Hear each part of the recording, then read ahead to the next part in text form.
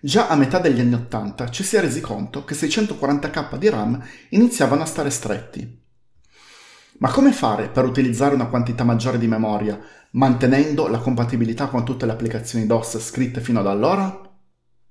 Prima di continuare ti ricordo che io faccio video dove parlo di Linux, di programmazione e di retrocomputing. Se questi argomenti ti interessano, iscriviti al mio canale, attiva la campanella, commenta e metti un like a questo video. Nel 1983 esce la prima killer app per PC, il foglio di calcolo Lotus 123, che è l'antenato degli attuali LibreOffice Calc e Microsoft Excel. Negli anni 80, se avevi un PC, avevi Lotus 123. Fatto sta che se iniziavi a fare fogli di calcolo di una certa complessità, ecco che 644K di RAM iniziavano a non bastare più. Ma come fare per utilizzare una quantità maggiore di memoria se il microprocessore indirizza solo fino a 1 MB? Nel 1985 proprio Lotus, assieme a Intel e Microsoft, trovano assieme una soluzione. E nasce così la memoria espansa, detta anche EMS. Si tratta di una scheda di memoria che contiene dell'hardware aggiuntivo per fare il cosiddetto bank switching e funziona in questo modo. Si riserva nell'area di memoria accessibile alla CPU un'area di 64K chiamata frame buffer. Poi si dice all'hardware di mappare nel frame buffer una determinata area di questa memoria esterna. In questo modo possiamo avere a nostra disposizione quantità di RAM che possono arrivare fino a 32 MB, anche se mediamente queste schede erano da 2 MB. Con lo svantaggio però che possiamo solo vedere 64K alla volta di questa memoria. Questa soluzione non era ottimale, ma per capire le ragioni dietro le soluzioni successive, dobbiamo fare prima una carrellata su alcune CPU Intel, più una AMD come bonus. 1978. Esce la CPU Intel 8086, che ha un'architettura a 16 bit e può indirizzare fino a 1 MB di memoria. Questa è la CPU che dà il nome all'architettura x86 usata tutt'oggi. È anche la CPU usata dai cloni dei PC IBM più performanti, come l'Olivetti M24. 1979. Esce la CPU Intel 8088, che è identica all'8086, ma ha un bus esterno a 8 bit anziché 16. Questo da un lato degrada notevolmente le prestazioni, perché a parità di frequenza accedi a metà della memoria nello stesso tempo, ma dall'altro riduce i costi e semplifica le connessioni hardware. Se ti ricordi dallo scorso video, è questa la CPU utilizzata dal PC IBM. 1982. Esce la CPU Intel 80286, o più semplicemente detta 286. Rimane una CPU a 16 bit, ma questa volta può indirizzare fino a 16 MB di memoria.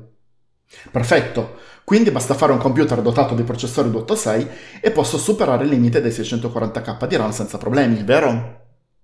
Beh, non proprio.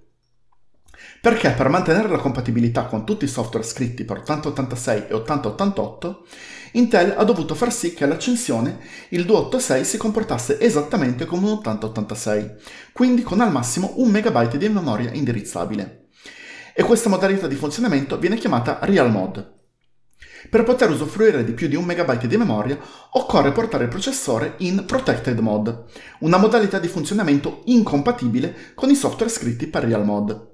Enorme problema di questo microprocessore è che una volta entrato in Protected Mode non c'è modo per farlo tornare in Real Mode se non riavviando tutto. E indovina qual è il software che funziona in Real Mode? Esatto, MS-DOS e tutti i software scritti per esso. Quindi, di fatto, il 286 veniva utilizzato semplicemente come un 8086 più veloce, ma sempre col limite di un megabyte indirizzabile. 1985. Esce la CPU Intel 80386, o più semplicemente detta 386. È il primo microprocessore a 32 bit con architettura x86 ed è in grado di indirizzare fino a 4 GB di memoria. Come per il 286, anche il 386 parte in Real Mode, supportando appieno tutti i software scritti per il Real Mode, sempre però col limite di 1 MB indirizzabile. In Protected Mode è possibile scatenare la potenza del 386, facendo operazioni a 32 bit e indirizzando fino a 4 GB di memoria. E questa volta, imparando dagli errori del 286, è possibile passare da Protected Mode a Real Mode senza problemi. Questa caratteristica rende possibile superare la barriera dei 640k sotto DOS in due modi che vedremo nel prossimo video. Oltre che a Real Mode e Protected Mode, il 386 ha anche una terza modalità di funzionamento, chiamata Virtual 8086 Mode, che permette l'esecuzione di software scritti per Real Mode mappando della memoria virtuale. Questa modalità viene utilizzata dai sistemi operativi OS2 e Windows 95 per eseguire contemporaneamente più software scritti per DOS in multitasking.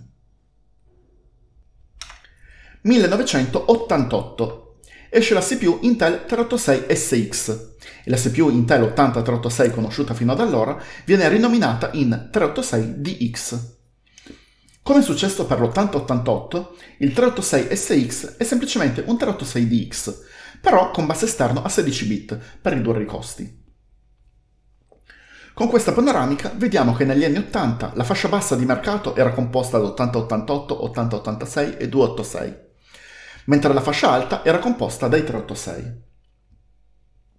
Tutte le CPU successive al 386 non hanno apportato stravolgenti novità all'architettura x86 fino al 2003, quando AMD fa uscire il processore Opteron, la prima CPU con architettura x86 a 64 bit, architettura usata tutt'oggi nel processore che hai nel tuo PC in questo momento.